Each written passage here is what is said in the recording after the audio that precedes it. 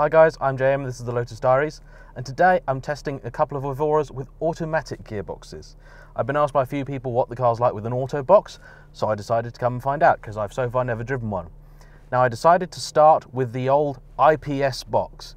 Uh, it should be worth noting that Lotus do not call their automatic gearbox the IPS anymore, it's just called the Auto. It is fundamentally the same thing, it's still a 6-speed traditional torque converter automatic from Toyota, but Lotus decided that the IPS brand was either no longer applicable or necessary, or they just weren't fooling anyone to thinking it was a DSG box when it definitely isn't. So we're starting with the old car, and I want to give special thanks to Jamie and Bell and Colvill for lending me this car and a 400, which you're going to see in a little bit. Okay, so first things first, I got to get out of here, and this car is parked really nice and tight. So let's see if I can get out of here without damaging any of their stock.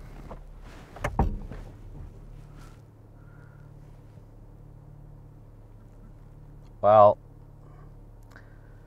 that's convenient. Now, I do really like the Evora, but rear visibility, side visibility, is just not this car's strong point. In fact, it's one of the car's few weak points. So, this is basically the worst possible situation you can drive one in. Now, I should actually say one of the benefits of this being a traditional automatic rather than a dual clutcher is it will creep.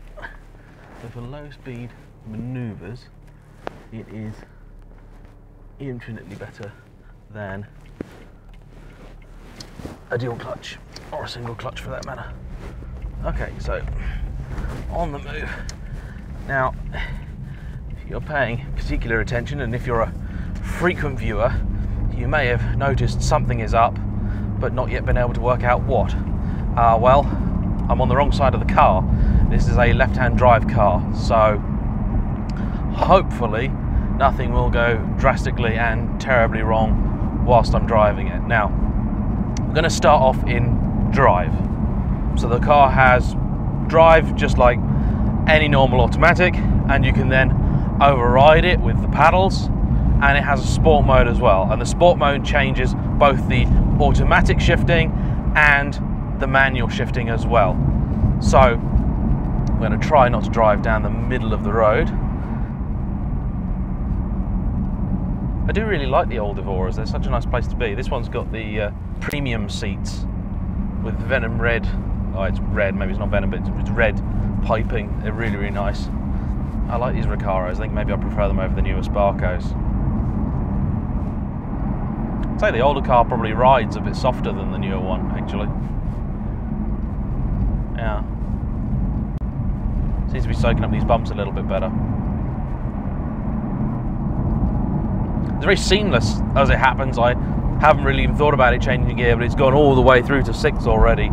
So, as a regular auto, it seems to work pretty well. One thing I will note, I've seen a lot of guys in the USA talk about the very limited room that there is in the footwell and getting in this car I can see what you mean. I mean this is an auto box so there's only two pedals down here and with three pedals it definitely definitely would be a cramped footwell so if you're an existing Evora owner or you've previously driven one and that's one of your experiences that you've taken away with the 400 that is significantly improved. Now Obviously, my only experience of the 400 is in right-hand drive form, but I know in right-hand drive form, when you're on the right side of the car, there is a lot more room in the footwell. So one would assume that they've also given it an awful lot more room on the left-hand side as well. So hopefully that's something of an improvement. Right. So auto mode, limited along, foot down. Does change down. It's not the most rapid thing in the world. All these cars do handle nice. It actually sounds quite good as well.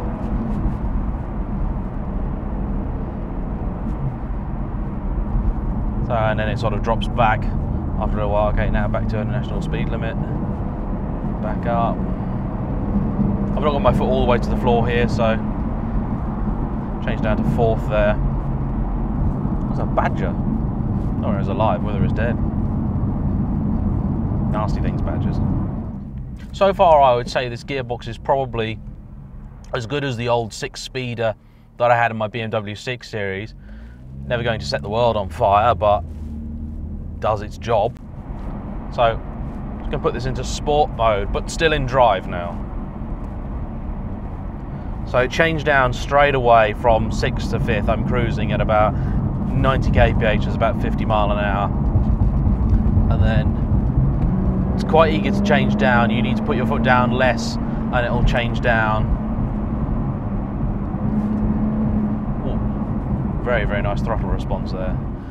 I'd say the biggest difference here is that with the normal mode, you put your foot down, it realizes that you want to have a play, and so it'll keep the gears in a higher rev range. But then once you back off, it fairly quickly drops down into the higher gears, lower RPM. Now, with the sports mode, it seems when you take your foot off, it holds the gear considerably longer before it realizes that you know you've kind of had enough.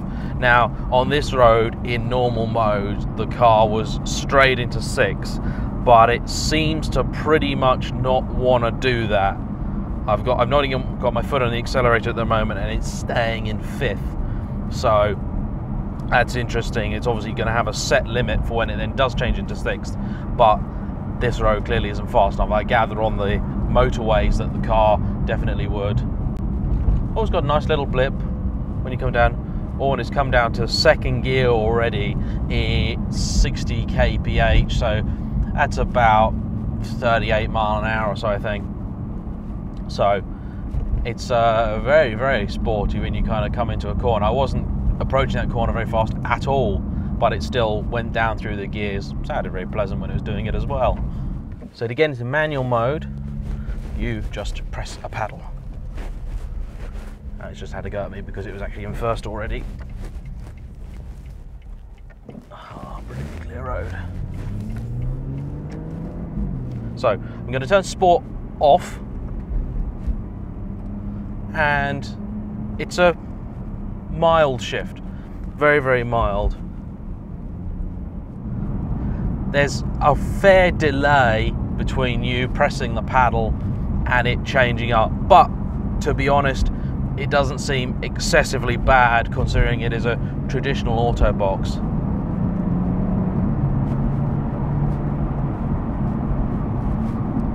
shifts are very, very smooth. They're certainly not a sort of thwack thwack that you would get out of a single clutcher. Now, if you're driving it around town, I'd say this is going to be a pretty pleasant box to use. Yeah, downshift really, really quite slow there. It's not a quick box. It's smooth, but it's not quick. Car's quick though. I like it it's cool. It's a huge gap between fourth and fifth. Nearly a thousand RPM drop there. So, oh, you bastard. So let's go into sport. Sport changes the throttle response quite a bit. I think you'd get used to this gear shift. I'm starting to get used to it. As if you're if you're expecting a sort of PlayStation-esque instant response, you're going to be disappointed, but it works well. It's actually probably quite similar to some of the gearboxes that Aston used in some of their cars, particularly the DB9, yeah, which was just a automatic box with a paddle shift on it, and that was perfectly good. The car hasn't refused a shift yet. I haven't asked it to do anything silly. So you turn sport mode off and it's gone back into its drive mode. It's normal sedate.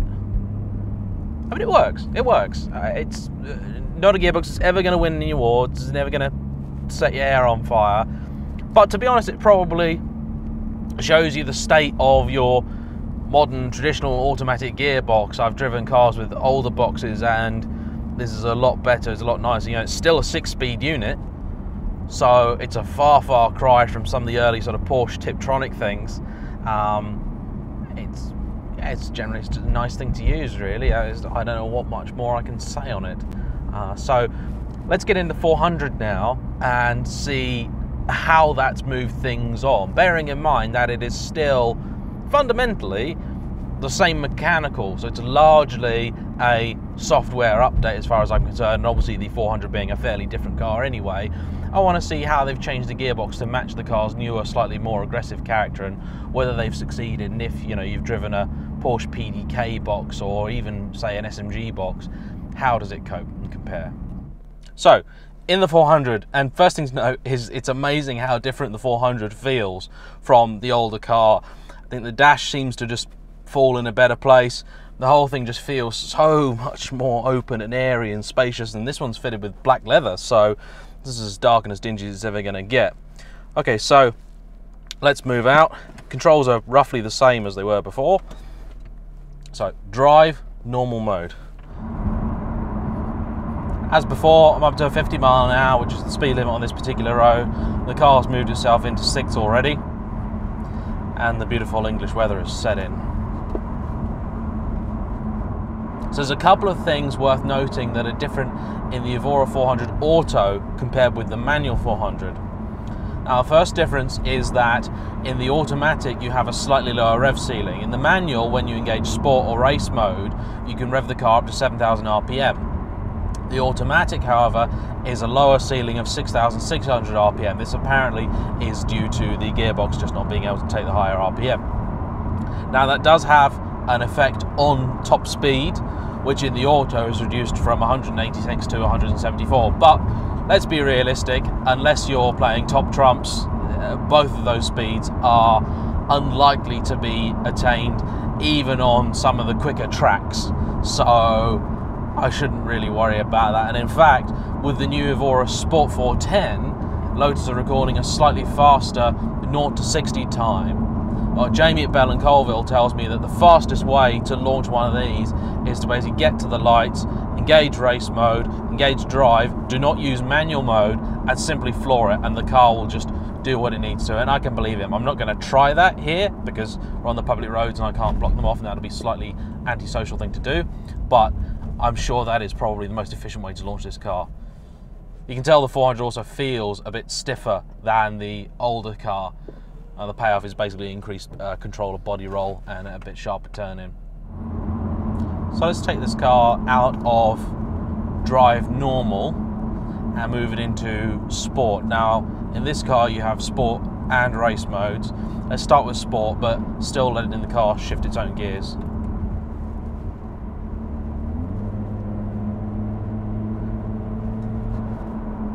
Now with the 400, obviously you press sport mode and it, it opens up the flap in the exhaust so you get an increased noise. It will have sharpened the throttle response as it does in the older car. I'm afraid this is not really the ideal day to be testing these cars, but if I waited for immaculate weather whenever I wanted to film something, I'm afraid I'd never update the channel. So uh, you'll have to bear with me on this one, but thank you all for your support. Uh, it's also worth noting that in the 400, they've laid out the dash in a slightly different way. So in this car, your speed is up here. Now this can be changed between mile an hour and kilometers per hour in the menu. And then down here, you have your gear shift information. That's much better than the last car because in the older car, in manual cars, this was your speedo and it was always the same Uh, units as this, which is not particularly useful if you're going abroad. Apparently there is a way to change it. I don't know what that is. In these cars, it's really easy. It's in the menu. But on this car, obviously you've got your speed reading and you've got your gear shift reading over here, so it's much more logically laid out. 50 mile an hour and it's in fourth at just over 2,200 RPM. I put it in race, I wonder if it changes again. No, no change. And to be honest with wet weather today, it's not the day for race. Just going to give this a little poke at sort of 50 odd mile an hour just to see what it does, whether it how much it changes. I seem to be very quick to do that now. In the old car, it seemed to work its way down the gears uh, a bit before it then gave you what you were asking for. That seemed to be more, right, your foot down, here's the gear you want, off you go. So just shortened what it was doing a little bit. It seemed a little bit smarter. So that did seem a bit improved. I've just gone to go and change gear. Uh, sorry, it's false. I've just got. I'm at home because I'm in this car. What a wally! Oh, slightly rude downshifts. Oh well, bus. I hope you're not going the way I'm going. Please turn right. Please turn right. I think he's turning right. No, no. Oh, God. Oh.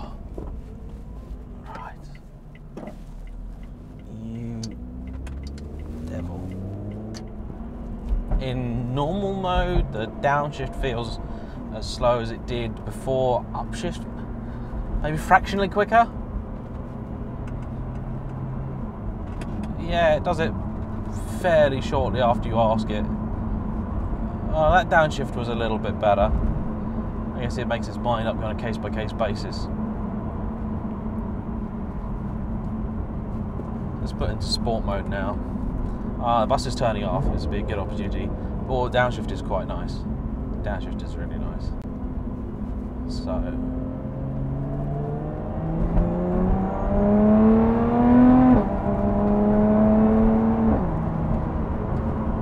Upshift is pretty quick in sport mode. It's, it's the downshifts that, that suffer. The downshifts just are not that quick. When your foot's not on the throttle, it's not doing things very quickly. It's yeah, it's it's always doing something slightly different. I guess when your foot's planted, it gets better and better and better. Ah, oh, come off it. Another thing that the 400 Auto is missing, in comparison to the manual, is a limited slip diff. Now, I don't know if you're familiar with what a limited slip diff does. If you're not, go look it up, then come back. Looked it up? Good. Okay, so the 400 manual is fitted with the limited slip diff. Now that's quite significant because as far as I know, it is the first road car Lotus have ever fitted as standard with a limited slip diff. Historically, Lotus have never felt the desire or the necessity for a limited slip diff. I don't know what their precise reasoning is, but you know, given the quality of the cars that they've put out there, you can't really blame them. And uh, well, I'm glad I got a little bit of the car in the dry before this happened. Yeah, it's a really smooth gearbox. Again, not surprising. Upshifts have a little bit of a thwack when you've got your foot down and you're in sport mode. I couldn't see myself probably having an automatic one of these, mainly because I don't drive it in city traffic on a constant basis, and you know I want to enjoy the manual sports car while the thing still exists. Now, I would say that if you are considering a 400 auto because you think you need the auto, yeah, definitely get it. Now, if you're expecting a PDK or an S-Tronic or a DSG box, then you are going to be disappointed. But frankly, this works as well as I think one can expect a traditional torque converter automatic to. And the upshifts are great, so making progress, upshifts no problem. And it does do its lovely blip on the downs. Yeah, that's nice. So, you know, yeah, it works. You want a paddle shift box. Oh, the paddles themselves are actually very nice. They haven't got the sort of quite click click that you get with some of the nicer sort of Ferrari paddles and that, but they appear to be made out of, well, I'm pretty sure they're metal. They're a good size. They move with the wheel as well. Uh, that is kind of important because, you know, if you are halfway turned and you need to change gear, which can happen if you're going through a particularly long corner, then you know the paddles always going to be there. They're not going to be down here. They are in the traditional configuration where left is down, right is up, and they're not like McLaren where you can push it either direction and it'll change the other way. It's uh, one paddle for one direction. That could be a new album for the guys. I actually quite like where the buttons are. I'll take a picture in a minute and show you. I, I, really like where the buttons are placed down here for everything. It feels nice. I've seen a few cars where you can sort of tell that they designed it with one gearbox or another, and then the features for the opposite gearbox seem to be a little strange. Holy shit. Uh, Aston Martin, I've never quite got over their sort of big buttons in the dash. It seems to be a little bit weird to me and I've never been fond of the Jaguar like rotary selector either, uh, or actually in the Lamborghini uh, Gallardo. You know what? Actually, one of the main things that put me off that with the E gear is that you have the paddles, you got the stuff down here, and then reverse is a button over here. Like they engineered the gearbox and they designed it and they did it, and then they forgot to put the button for reverse on, so it's over here for no good reason. So it's been a short little feature today. I hope that you've enjoyed it. I hope it's been informative. You know, summary is you fancy one of these with the auto box. The new one's definitely better. Not by miles. It's it's not probably the big improvement that they've made with the manual shift, but it's a serviceable gearbox. If you're driving around town, then definitely have one of these. Uh, so bear in mind the couple of little things that you're you're missing, i.e. your higher RPM limit and your limited slip diff. They may or may not be of any significance to you. But yeah, it's still a good box. Lotus are getting better and better and better. It's nice that they even offer one. A few years ago that they, they simply didn't at all. So they're doing the very best that they can with what they have, which is generally their way. Loads more content coming for you soon.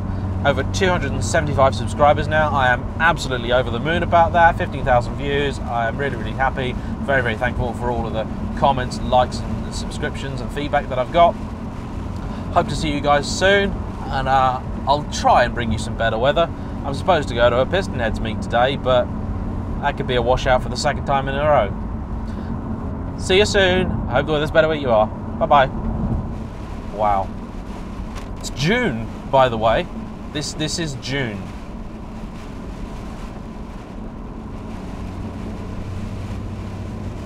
So if you live in California and you're looking for a lodger and you fancy some sort of semi well spoken English car fanatic type, uh, why don't you write in and tell me? Because just about now, I'm kind of wondering why I live in the country that I do. We make good cars, but we don't appear to have the weather to use them.